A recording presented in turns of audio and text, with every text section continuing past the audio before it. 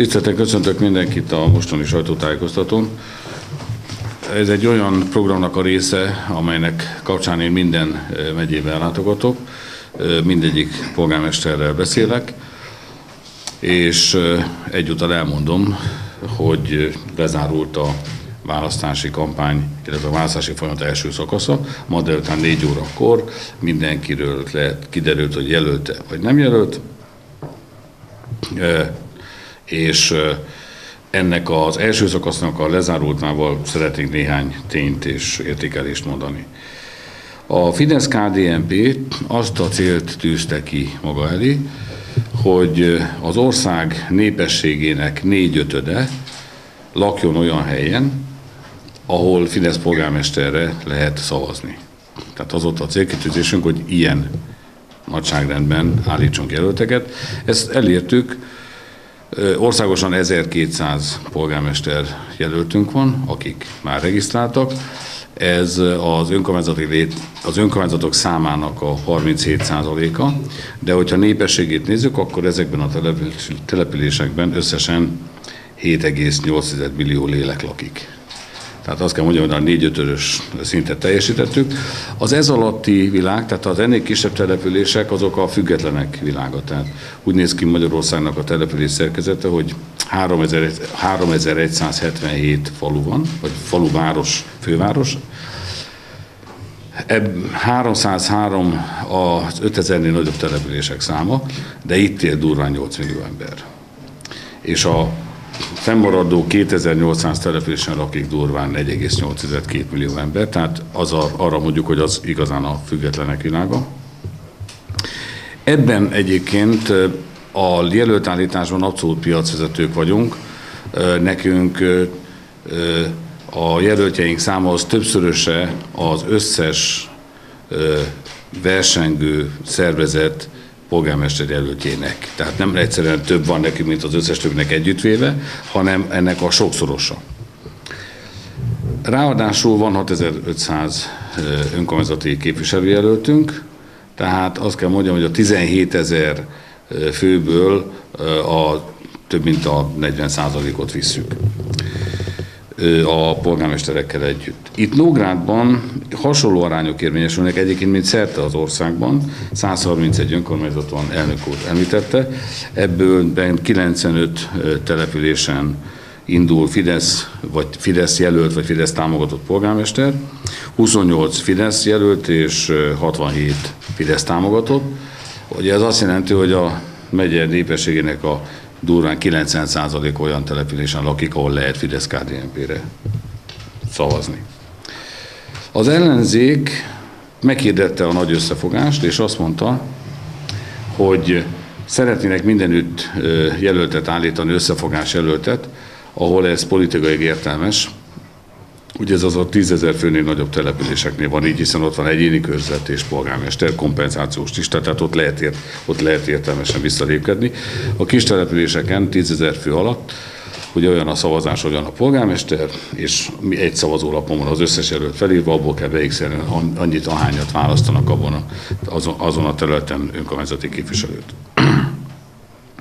Tehát a 169 olyan település van, ami 10 ezer főnél nagyobb. Ebbe akartak az ellenfelek ö, együttes vagy közös jelöltet állítani. A 169-ből csak 53-ban van bármifajta együttműködés. Tehát ott, ez 30% alatti teljesítmény, ez, ez egy általános iskolában is egyes. Tehát, hogyha egy feladatot 30%-ra oldunk meg, az egyes de itt sem értelmes mindenütt az együttműködés, hiszen van nem egy-két olyan hely, ahol az ellenzéki összefogás az ilyen tarkabarka, és ezért egymással versenyző ellenzéki jelöltek vannak. Úgyhogy az eredeti célkitűzést igazából csak 31 helyen tudták megvalósítani, ez 18%-os eredmény, ez még nagyobb egyes.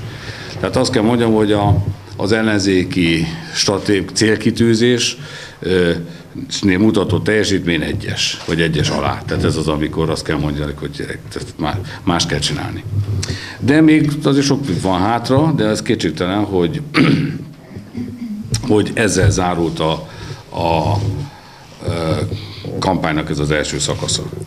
Mi Salgót, ja és még valamit azért hadd mondjak, hogy itt, akár csak itt Salgótarjánban, egyébként erre Szabó Csaba polgármester utalt, de szerte az országban a következő a helyzet. Az választásokon a választók bizalmáért induló szervezeteknek más-más célkitűzése van.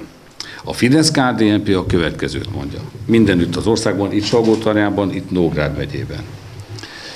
Az, amit összefogva az ország elért a kormány vezetésével, de elsősorban a magyar emberek munkájából, az fantasztikus. Nyugodtan mondhatom, Európában magyar csodáról beszélnek, hiszen egy teljesen reménytelen helyzetből 3,2 millióan dolgoztak 2010-ben, most 4,7 millióan dolgoznak az országban. A gazdaság növekedése a legjobb az Európai Unióban. Eközben csökkentettük az adósságot, konszolidáltuk teljes egészében az önkormányzati adósságalományt. Egyébként jellemző Sagótarján, hogy rögtön, hogy a kormány el magához mondta Sagótarján összesítelét, hogy tiszta lappal induljon, egy éven belül 1,8 milliárd forintnyi újabb adóság keletkezett. Tehát ez itt nem, nem értek ügyesen a, a lehetőségekkel. Ö, a családtámogatási rendszerünk a legjobb és a legnagyobb mértékben támogatjuk a gyerekeket az egész Európai Unióban. Az, amit elértünk teljesítményt, az, az megalapozza azt, hogy azt mondjuk az embereknek, itt Salgótarjában, itt Nógrád megyében is, hogy a bizalmatokat kérjük, mert szeretnénk építkezni. Szeretnénk szépíteni, építeni, fejleszteni a településeinket, a városainkat, a falvainkat. Az építkezéshez pedig együttműködés kell és összefogás. Mit mond az ellenzék? Kedves polgárok, szavazatok ránk, mert el akarjuk törölni Orbán Viktor rendszerét.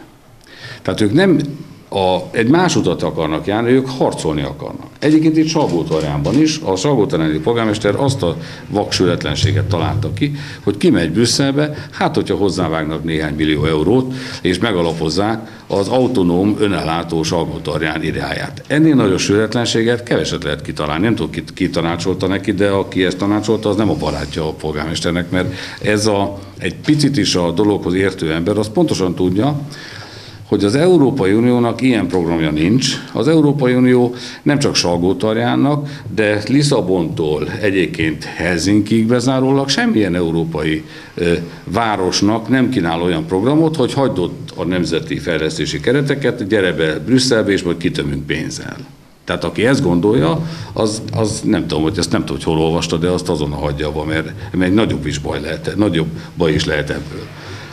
Ez körülbelül az a típusú eset, hogy itt valaki Salgótarjánban bement, csődbe ment, és akkor kimegy Brüsszel, hogy adjatok pénzt, mert csődbe mentem. Tehát nem fognak. Aki háborúzni akar a magyar kormányal, az csatatéré akarja változtatni a városát. Az nem építeni akar, vagy fejleszteni, mert biztos mindenki észrevett, hogy építeni nem háborúban szoktak, hanem békében. Aki háborúzni akar, az nem építeni akar. Ezért ez a célkitűzés, amit Salgó megfogalmazott, az a Salgótarjánnak a sorsrontásával legyen értékű. Tehát én azt én Hajdú Bihar megyei vagyok, Debrecen városából. Mi, amikor Fidesz ellenzékben volt, akkor is együtt tudtunk működni valamilyen szinten a kormányon, mert ha pusztán háborúzunk a kormányon, semmi értelme nincsen. Rosszul járunk, nem, nem boldogulunk és akkor is fejlődött a város, és akkor is meg lehetett találni azokat az aktorokat, azokat a szövetségeseket, akikkel lehetett boldogulni. Aki ezt a célt tűzi maga elét, amit Csagótanyán politika elitje, az, az a romlását akarja a városnak. Őszintén mondom, polgármesterként gondolják, gondoljanak bele, hogy oké, okay, csak rossz, sőt, tehát rossz belegondolni, csak gondolat kísérlet, nyer itt az ellenzék, és akkor meghirdetik a harcot a, a kormány ellenében. Az hogy lesz? A Fidesz építette a 21-es utat, nem járunk rajta. Ellenállás. A Fidesz munkahelyet akar idehozni, nem, ellenállunk. Megtiltjuk a szabályzási tervet, úgy módosítjuk, hogy ne lehessen építeni semmit. A Fidesz családtámogatást akar, mert azt szeretné, hogy a magyar családok minél több gyereket tudjanak becsületben felnevelni, mi ellenállunk, szándékosan lezülesztjük az önkormányzati gyermekellátási rendszert, óvoda, bölcsőde. Tehát, vagy hogy kell ezt elképzelni? Tehát azért, csak azért ezek abszurditások, csak az egésznek az abszurditására szeretnék utalni, de nem baj, mindenki úgy kampányol, ahogy a legjobb becsületéből telik. Mi az építkezésre, a szépítésre, a közös munkára hívunk, ők a háborúra a kormány ellenében. Mindenki eldöntette, hogy melyiket választja. Mi szeretnénk Szabó Csaba polgármester jelöltel és a Nógrád megye önkormányzatot összefogva fejleszteni, szépíteni ezt a gyönyörű megyét, mert nagyon ráfér. És tényleg nem a háborúság fér rá, hanem az, hogy boldoguljunk, mert itt is, ahogy szerte az országban, óriási lehetőségek vannak abban, hogyha együttműködünk az ország és a megye a város fejlesztésében a kormányjal. Mi ezre biztatunk mindenkit, és természetesen folytatjuk a kampányolást, ugye most az első szakasz lezárult, mi szeretnénk tovább kapcsolatban maradni az emberekkel, megyünk, kopogtatunk, támogató aláírás kérünk, a Fidesz politikusok járják az országot, beszélünk az emberekkel, utcafórumokat tartunk, megyünk előre, és szeretnénk arra kérni az embereket, hogy bízzanak bennünk, ahogy eddig, mert a magyar csoda velünk folytatódik. Köszönöm szépen, hogy meghallgattak. Hogyha van kérdés, akkor arra természetesen válaszolunk, akár a témában, akár másban. Aztán megyünk, mert még találkozni kell 95 polgármester is. És utána még a szlovák testvérekkel is találkozunk este.